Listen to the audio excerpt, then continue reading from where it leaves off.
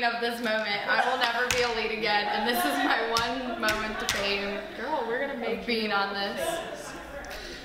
Let's, no, don't lie. It's not about being a lead. It's about being on the camera behind the curtain. It's That's the so part you- true. I literally just have to be like, I've been dreaming of this. No, I'm just kidding.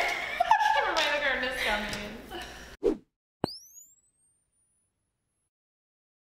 Hello, my name is Laura Petracco from Camera Behind the Curtain, and I am here at the Stained Glass Theater in Newport, Kentucky, home of the Footlighters Incorporated, where they will be presenting their production of All Shook Up.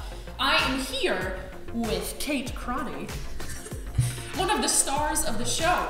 Um, we are going to be getting to know Kate, getting to know her character, and maybe playing a few games or two. So stick around because we are going center stage.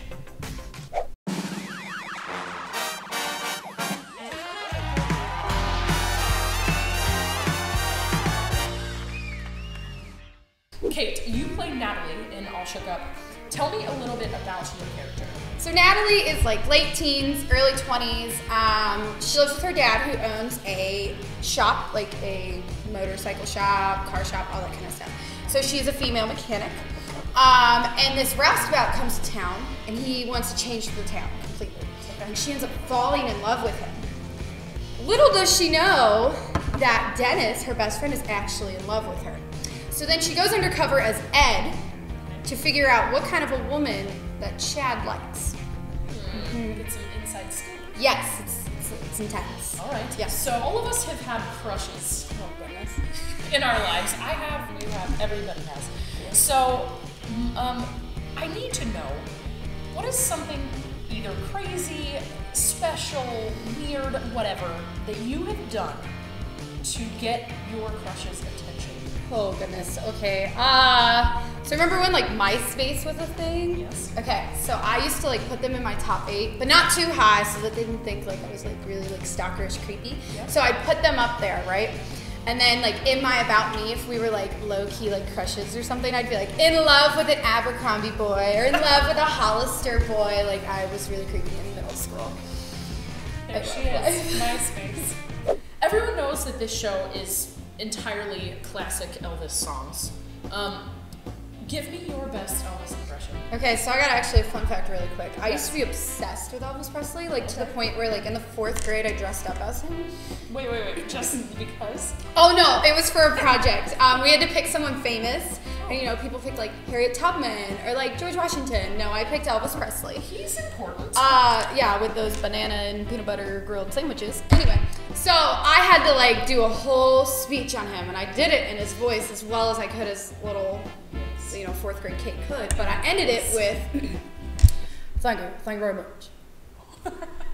With the wink and everything. She's got it. Kate, we're gonna veer off the path a little bit here.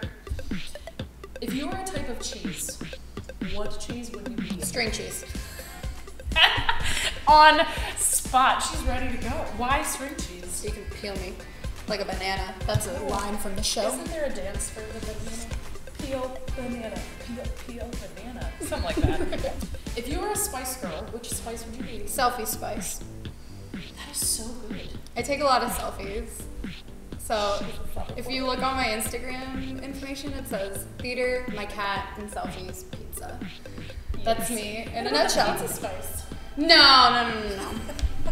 It would have to be like pizza and taco spice then, because I love both of those things. Or like pizza taco pasta spice. And then like that's all through my face. Or pizza taco pasta ice cream spice, and that like literally How makes me the food spice? No, no, because I don't like a lot of foods. Okay, we'll go back to the selfie spice. I like it. now is the time that me and Kate play a game. The game we are playing this time is called the question conversation. And the way this game works is it's an improv game, and the only way that we can respond to each other is if we answer with a question. Are you ready to play? I was born ready to play. Ooh, that was a good thing about the show. Oh, wild. It was good. Auto Are you a shot. roustabout? You betcha. Let's do it.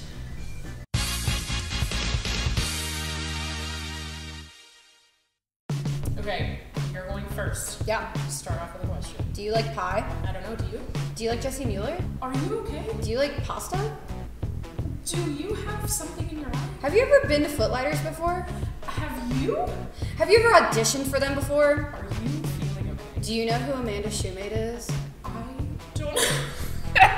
I know I am so bad at. I have a degree in theater. Okay, round two. Let's see if I can do any better. okay. Can you the love? Have you ever been to New York City? Have you ever touched a chicken? What's your favorite pizza? Do you like pizza? Do you like cows? Have you ever felt a fan? Have you ever seen a cow? Have you spoken to a microphone? Have you ever dyed your hair? Are you feeling okay? Have you ever parked on the yellow part of the curb out there and gotten a ticket? I mean, uh, what? I have. Round three. You start. Did you know is haunted? Have you ever seen Mario?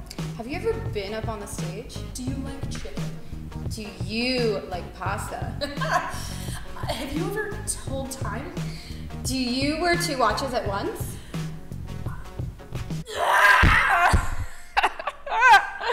I'm competitive. She wins every time. This is something. well, that's the question conversation, and I need to practice. Kate, thank you so much for hanging out with us today. The show is all shook up. Tell them where they can get tickets. You can get tickets at footlighters.org or you can call 859-652-3849. We run May 4th through the 20th. Come and get shook with us. Thank you so much for hanging out. Thank you so much for watching, and we will see you next time on Camera Behind the Curtain.